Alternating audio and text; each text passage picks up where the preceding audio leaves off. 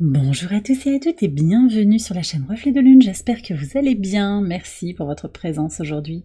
On se retrouve pour le tirage prédictif de la semaine du 9 au 15 septembre pour le signe du Verseau, Soleil ascendant ou Lune en Verseau. On va regarder l'énergie de votre semaine. Vous avez la courge qui nous parle de productivité. Alors cette semaine vous allez être euh, possiblement actif, mais on a l'énergie du cancer, donc il y a aussi une productivité intérieure, quelque chose qui grandit en vous. On a l'énergie de Mars en cancer sur cette semaine. Euh, et puis le soleil en vierge aussi qui pousse euh, à prendre ses responsabilités, à avancer dans la matière avec beaucoup de flexibilité aussi pour soi-même. Donc euh, j'ai le sentiment que vous allez œuvrer aussi de façon délicate, on me dit, oui, pour votre bien-être, hein, pour vous prioriser. On a sur cette semaine un portail énergétique qui s'est ouvert le lundi, le lundi 9, et qui va nous influencer tous et toutes collectivement sur les semaines à venir. Un portail énergétique qui nous parle de, de nouveaux cycles qui va démarrer, une possibilité de faire évoluer des situations, une question aussi d'accéder à son abondance. On a aussi un premier quartier de lune en Sagittaire le mercredi qui est euh, tourné autour de la flexibilité. On a une croix mutable hein, qui se dessine dans le ciel sur cette journée au moment du premier quartier de lune. Flexibilité, adaptabilité, accueil de ce qui est, préparation hein, de ce qui vient pour vous de neuf, en particulier autour des énergies du 9-9 sur le plan mental, sur le plan physique et sur le plan spirituel. Alors on va aller voir le message de l'oracle en lien avec la lune et ce portail. Qu'est-ce qu'il fait rentrer dans votre vie? Ce portail et cette lune, qu'est-ce qu'elles font rentrer? Eh bien, on vous parle de guérison déjà. Guérison, il y a une accélération de la guérison. Peut-être dans l'immobilité, dans l'ancrage, dans le fait d'être quand même, pour certains, euh, bien campé sur ces positions. Vous avez peut-être été remis en question et là il y a des choses qui doivent se, stabiliser. Il y a quelque chose à remuer, à libérer et l'idée d'avancer. Donc en fait vous avez peut-être été freiné, vous vous êtes senti limité. On a un, soleil opposé à Saturne dans cette croix mutable euh, qui peut limiter euh, les possibilités d'expression, la liberté d'expression. Il y a quelque chose en fait à, à confirmer, et en particulier dans un chemin d'optimisme avec Jupiter au T carré du Soleil et de Saturne, et cette lune opposée aussi euh, à Jupiter sur le mercredi, qui impose hein, quelque part de se de s'aligner avec soi-même, de regarder comment euh, nos émotions, nos peurs peuvent nous freiner dans notre désir d'évolution et peuvent nous, nous limiter dans notre accès à la joie et euh, à la gaieté dans l'idée aussi d'accueillir les bénédictions qui viennent vers vous. Quelque chose à libérer, hein, clairement, secouer un petit peu le cocotier pour pouvoir guérir et avancer. Donc ne pas rester là où vous en êtes, ne pas stagner, même si pour vous, ne rien faire, c'est aussi prendre soin de soi, se régénérer. Ça va dépendre un petit peu de chaque situation. On va voir les messages au quotidien. Alors on regarde les énergies du 9-9. Qu'est-ce que vous avez? Des clés des clés par rapport à la maison. Alors pour certains, euh, ça va être sur le lundi, ça s'est peut-être déjà passé, je fais le tirage le mardi. Euh, peut-être que certains d'entre vous ont pris un nouveau logement, un nouveau local commercial, euh, une location. Il y a une histoire de maison. Peut-être que vous avez visité une maison, vous avez ouvert une porte. Et alors une porte réelle, peut-être une porte symbolique aussi en vous, des clés pour euh, reconnaître en vous quelque chose, ce besoin de vous recentrer sur vous, de trouver votre stabilité. J'avais ce 4 hein, qui était là très présent avec l'antilope, qui revient ici dans la carte.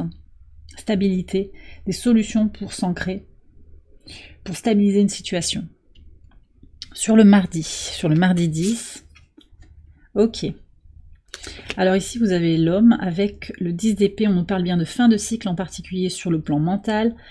Pour certains d'entre vous, vous avez vous vivez une situation qui n'est pas évidente euh, à négocier sur le plan émotionnel et sur le plan mental, avec peut-être euh, des doutes forts hein, intérieurement, un mépris aussi. J'ai le mot mépris qui est là. Alors peut-être quelqu'un qui vous renvoie du mépris, ou c'est peut-être vous-même qui avez été dans cette énergie-là à un moment.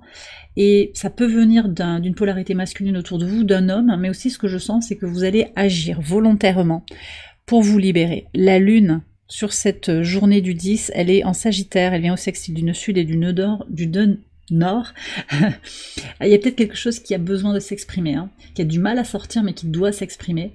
Euh, c'est l'idée de se libérer du besoin de concorde et de se prioriser. Donc aussi, je sens que vous allez agir, prendre votre propre pouvoir. Peut-être que vous avez aussi une personne euh, masculine, un homme qui vient vous aider aussi. On me donne le signe de la balance. Donc il y a peut-être quelqu'un aussi qui vous aide à traverser une période difficile. Sur le mercredi 11, alors on a le 8 d'épée.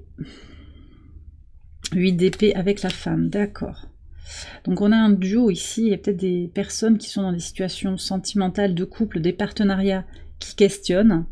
Je pense aussi que vous avez sur le mardi, le mercredi, autour de cette lune, c'est vraiment très lié euh, au début de la semaine, euh, cette idée de reconnecter votre masculinité et votre féminité, votre masculin sacré et votre féminin sacré, pour dépasser vos peurs et sortir avec courage et volonté pour agir de façon productive euh, au service de votre bien-être. Donc le féminin sort du doute. Arrête de se questionner, votre part féminine qui aurait tendance peut-être à se remettre en question, à douter d'elle-même, à ressentir très très fort les choses et peut-être même à prendre les choses personnellement. Vous comprenez là qu'il est temps de changer de regard, de se libérer de ce poids que vous vous imposez, parce qu'en fait, vous comprenez que en général, les gens qui vous renvoient une image dégradée de vous-même, c'est pas, ils parlent pas vraiment de vous. Ils sont dans le jugement, ils sont dans le jugement d'eux-mêmes et ils parlent de d'eux-mêmes et pas de vous réellement. Et puis ils sont peut-être meurtris, peut-être que sans le vouloir vous les avez blessés et ils vous font mal en retour. Donc il y a quand même quelque chose de très clair qui se qui émerge comme ça dans le relationnel.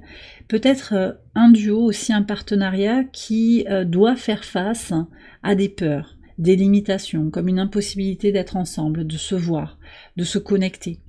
Quelque chose qui, va devoir être dépassé sur le plan des idées, sur le plan des valeurs, sur le plan de la vision commune.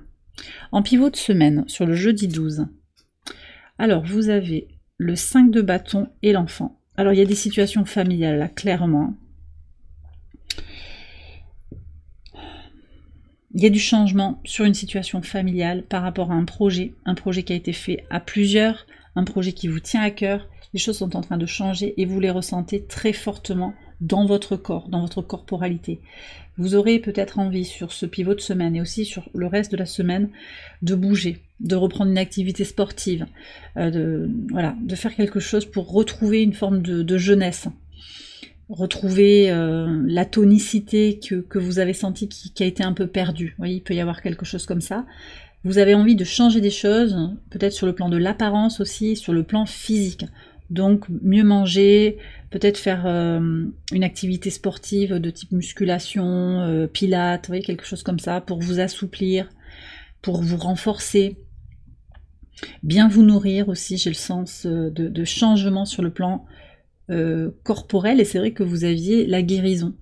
Remuer votre corps peut-être, euh, remuer les doutes hein, par rapport à votre capacité à vous bouger, à vous mouvoir, à être la personne que vous désirez et aussi à vous accepter dans votre physique, dans votre corporalité. Il y a un nouveau regard aussi par rapport à votre corps, je sens, qui vient aussi avec des libérations des blessures de l'enfant intérieur.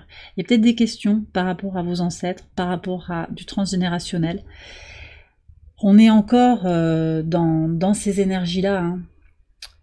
Euh, c'est même tout le mois de septembre en fait pour, pour euh, collectivement on est encore sur des libérations sur le transgénérationnel en particulier avec Mars en cancer donc il y a peut-être ça aussi que vous allez libérer cette semaine sur le vendredi 13 6 d'épée et le pont clairement il y a un mouvement alors, vous avez peut-être un entourage qui a envie de vous aider. Je ne sais pas si vous allez accepter cette aide. En tout cas, il y a vraiment un mouvement, un désir d'avancer, changement d'état d'esprit, retrouver son équilibre mental, les idées plus claires, reconnaître sur qui vous pouvez compter ou pas, et avancer. Donc le pont, il nous, parle vraiment de, de transit. Pour certains, de façon très ponctuelle, et c'est pas prédictif ce que je vais vous annoncer, vous avez perdu quelqu'un. Et vous sentez que cette personne, elle est passée de l'autre côté pourtant vous êtes connecté, il y a des ponts qui se tissent avec cette personne. Hein, voilà. Je reçois ça également. En tout cas, euh, ici ce que je perçois, c'est un mouvement de l'esprit, un déplacement. Pour certains d'entre vous, vous prenez un logement et vous vous déplacez, vous déménagez. vous allez euh, bouger physiquement sur cette journée du vendredi. La, la lune est en Capricorne, signe cardinal de terre, donc concrètement, vous avancez en alignement avec vos émotions. Au trigone du soleil, cette lune, elle permet d'harmoniser l'inconscient et le conscient, de reconnaître en fait plus facilement quels sont vos besoins et de vous prioriser, de répondre à vos besoins de façon simple, en agissant concrètement. Donc s'il s'agit de partir, de bouger, d'agir, parce que ça peut être ça aussi. Ce 6 d'épée, c'est j'accepte d'agir, je me lance, je fais le grand saut pour avancer vers, ben on voit pas forcément, peut-être vers l'inconnu, mais il y a un lâcher-prise aussi qui, aura lieu sur ce vendredi. Sur le samedi 14, on va regarder, voilà, vous êtes guidé, l'étoile, magnifique. Et on a quoi? On a la reine de coupe avec le mont. Ok. Alors, ce qu'on nous dit, beaucoup d'abondance hein, qui va ressortir sur le week-end. Euh, abondance, fertilité, alors à la fois émotionnellement et matériellement. On a un nouveau un duo là qui se dessine. Alors on me dit que les épreuves que vous traversez dans ce duo, qui peut être une discussion avec vous-même entre votre rapport au matériel et vos besoins émotionnels. Après quoi est-ce que vous courez Quels sont vos projets Quelle est votre idée de la réussite et du succès? Il y a cette question peut-être qui va se poser à nouveau sur le week-end. Et il y a une réponse angélique en fait, il y a une réponse guidée en tout cas, euh, une réponse euh, peut-être par synchronicité, une, opportunité de comprendre les choses, d'avancer au-delà de l'obstacle, de rester dans votre fertilité, dans votre abondance, de reconnaître et d'accueillir l'abondance autour de vous, et de, voir comment aussi cette, posture optimiste, cette joie que vous laissez entrer dans votre vie, cette abondance, même partielle, que vous recevez avec gratitude, eh bien, ça fait partie d'un plan qui vous aide accéder au bonheur, au bonheur simple, dans l'ici et le maintenant. Pour certains, il y a des blocages hein, sur des projets, des projets de cœur, peut-être des projets en lien avec la famille pour certains, mais ça fait partie d'un parcours. C'est peut-être que c'est pas le moment et c'est ok. Lâchez prise et avancez. Continuez un pas devant l'autre, c'était le message aussi de l'antilope. On va voir le message de l'oracle ad infinitum. Hmm.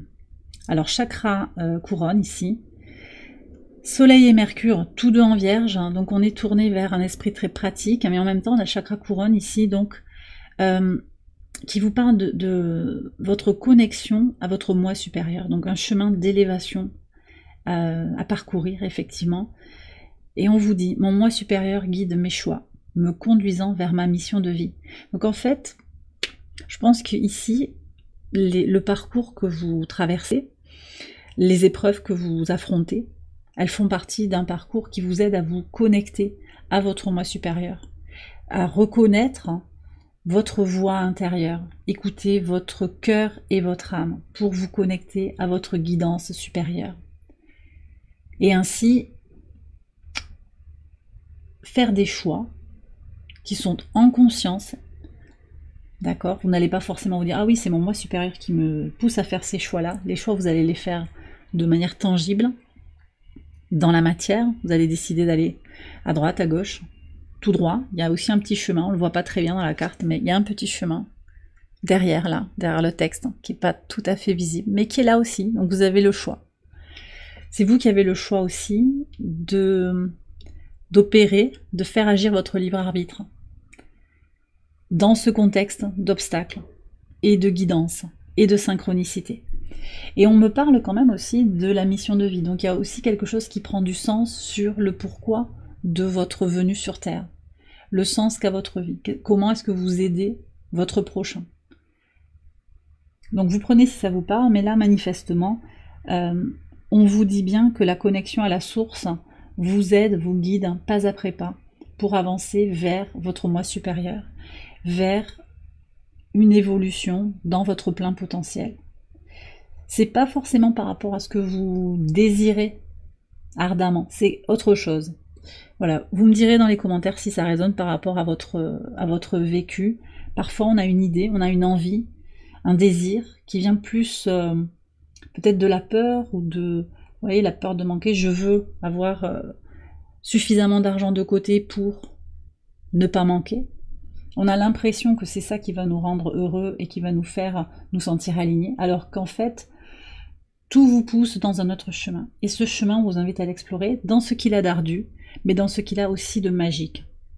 Donc, quelles que soient les épreuves que vous traversez, les étapes de votre vie, qu'elles soient joyeuses ou plus tristes, comprenez que tout vous guide pour prendre de la hauteur et vous connecter à votre moi supérieur et indirectement à votre mission de vie. Peut-être que certains qui regardent la vidéo aussi sont déjà reliés à leur mission de vie et ils voient très clair. Alors là, bah, on vous dit continuez le travail et comprenez que ces choix qui continuent à alimenter votre votre vécu en lien avec votre mission de vie proviennent de votre moi supérieur. Et reconnaissez aussi cet alignement avec la source. Et eh bien voilà les versos, j'ai terminé votre tirage, j'espère qu'il vous a éclairé. Si c'est le cas, je vous invite à liker la vidéo, à vous abonner, à partager, à commenter. Vous pouvez également aller voir les autres vidéos de cette série pour votre ascendant ou pour votre lune. Je vous souhaite une excellente semaine, je vous embrasse bien fort et je vous dis à très bientôt pour les prochaines vidéos. Bye bye